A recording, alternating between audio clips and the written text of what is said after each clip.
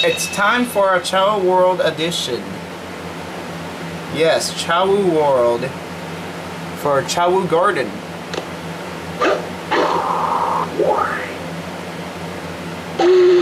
So here we are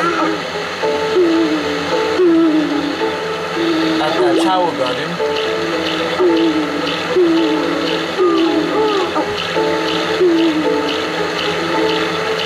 Alright, so this is just going to be a quick um, show here.